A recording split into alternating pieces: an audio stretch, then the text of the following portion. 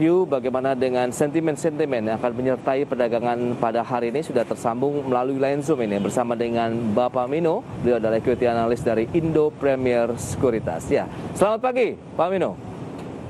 Ya, selamat pagi Mas Bas. Ya, terima kasih atas waktunya. Kita akan langsung saja mengulas dengan beragam sentimen yang sudah disampaikan begitu bagaimana ini akan memberikan pengaruhnya terhadap pergerakan indeks harga saham gabungan hari ini Pak Mino. Ya, uh, memang ada beberapa sentimen yang uh, cukup negatif ya, terutama dari pergerakan indeks global, walaupun mungkin itu pengaruhnya akan uh, tidak signifikan ya, karena pelemahannya juga uh, relatif tipis. Nah, dari beberapa uh, beberapa juga ada yang positif ya, terutama terkait dengan harga komoditas, uh, misalnya kayak uh, nikel, timah, emas dan batu bara itu menguat. Kemudian tadi pagi juga ada data indeks manufaktur uh, di bulan Agustus ya. Uh, itu angkanya memang masih terkontraksi atau di bawah 50 tapi lebih baik dibandingkan uh, bulan Juli yaitu di angka 43,7. Jadi saya pikir ini akan menjadi sesuatu yang positif untuk uh, market kita di uh, pergerakan hari ini. Baik. Investor juga uh, ya. Ya. Silakan untuk investor apa yang harus dilakukan dengan menyikapi kondisi seperti ini Pak Mino dengan indeks harga saham gabungan yang nampaknya ya. juga ini tarik ulurnya cukup kuat nih antara mereka yang ingin ya. uh, profit taking dan juga masih memburu saham-saham yang tertinggal begitu. Ya, saya pikir uh, tadi ya karena ada sesuatu yang negatif mungkin uh, ketika ada koreksi uh, itu bisa dimanfaatkan untuk uh, beyond thickness Baik, dari dalam negeri sendiri Jadi, bagaimana begitu dengan secara umum sendiri sebenarnya uh, sentimennya ya di bulan September ya. Ya, dari dalam negeri sendiri ada yang ditunggu tidak begitu? Sementara kan kita tahu ini awal bulan begitu data inflasi biasanya juga akan segera ya. dirilis begitu oleh BPS.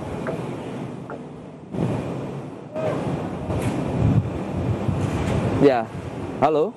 Pak Mino? Ya, untuk uh, data inflasi memang hari ini akan rilis ya, uh, dan ekspektasinya ya, halo, ya, ya. halo, ya Pak Mino, ya, halo,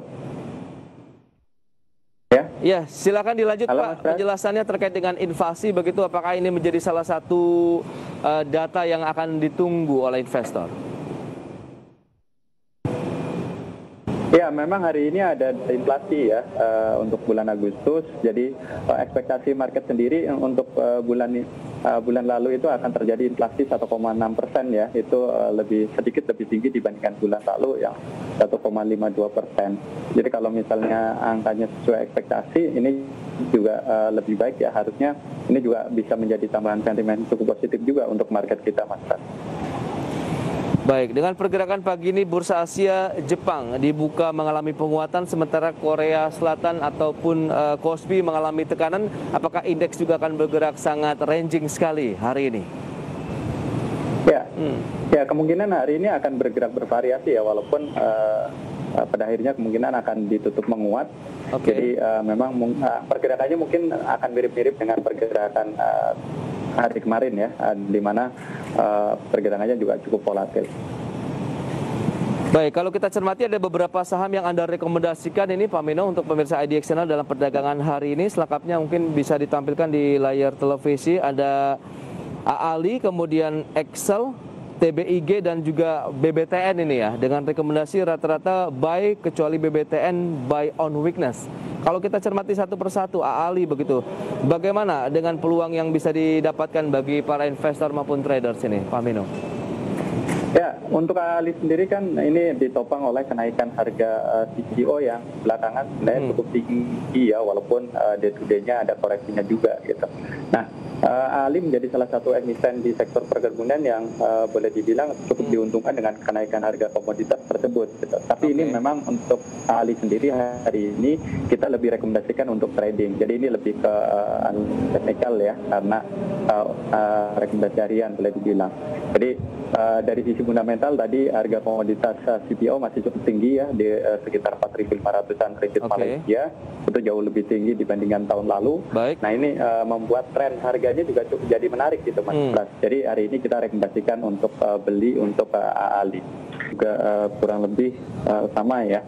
Dari sisi fundamental sektor telekomunikasi uh, juga uh, saat ini uh, dalam uh, proses yang menarik ya, ter, uh, terutama dengan adanya uh, konsolidasi di industri ini. Jadi okay. akan menjadikan persaingan di industri ini juga lebih uh, lebih sehat dan kalau kita lihat dari laporan beberapa uh, emiten yang uh, berserta di sektor ini juga semuanya di semester pertama oh, boleh dibilang uh, cukup baik. Jadi secara fundamental ini memang uh, sektor telekomunikasi uh, yeah. ini sangat menarik ya. Bahkan untuk keduanya kita juga uh, untuk invest ya untuk teman-teman yang invest kalau uh, itu juga kita masih uh, merekomendasikan dua saham tersebut uh, Mas Pras. Baik, Excel Jadi, dan TBIG begitu ya rekomendasinya baik dengan peluang resisten untuk Excel 2720 sementara TBIG-nya di 3210. Current price boleh kita masuk atau kita tunggu ada sedikit koreksi? Uh, dengan melihat uh, perkembangan market yang uh, masih fluktuatif ya mungkin uh, okay. kalau ada uh, lebih baik sebenarnya beli ketika mendekati mungkin supportnya ya, uh, walaupun yang ideal ya antara harga closing dan uh, spotnya sebenarnya kalau kita mau masuk. Tapi kalau memang uh, uh, agak misalnya pegangnya agak panjang, mungkin agak sedikit di atas closing juga nggak ada masalah. Oke, itu dia untuk Excel dan TBIG. BBTN terakhir ini, bagaimana untuk rekomendasinya? Ya untuk BBTN kita hari ini uh, buy on weakness ya. Uh, uh, tadi tentunya masih ada sedikit tekanan di market dan yeah. ini terus berpengaruh. Jadi kalau ada koreksi uh, kita uh, bisa untuk uh, buy on. Tapi secara umum juga sektor perbankan uh, dari sisi fundamental juga dalam perkembangan yang positif ya. Uh, tentunya seiring dengan proses uh, pemulihan ekonomi. Kalau untuk invest sendiri BBTN kita cuma direkomendasikan buy dengan target di 2350. Baik itu dia rekomendasi untuk perdagangan hari ini pilihan investasi kembali kami serahkan kepada pemirsa IDX Channel. Pak Mino, berikut ini akan kami sampaikan dulu nih saham-saham yang masuk dalam deretan top gainer dan juga top loser yang menjadi penggerak indeks harga saham gabungan. Selengkapnya bisa Anda saksikan di layar televisi Anda. Ada PTBA, Telkom, Antam, dan Unilever yang masuk dalam deretan top gainer. Selanjutnya, top loser kita ada Bank BRI, Jasa Marga, TBIG, dan SMGR itu dia yang kita bisa cermati untuk perdagangan hari ini. Dan melihat kondisi seperti saat ini, bagaimana Anda melihat uh, strategi investasi bagi para investor sendiri? Karena banyak sekali akhirnya karena dominasinya adalah investor retail, akhirnya trading-trading jangka pendek ini, Pak Mino.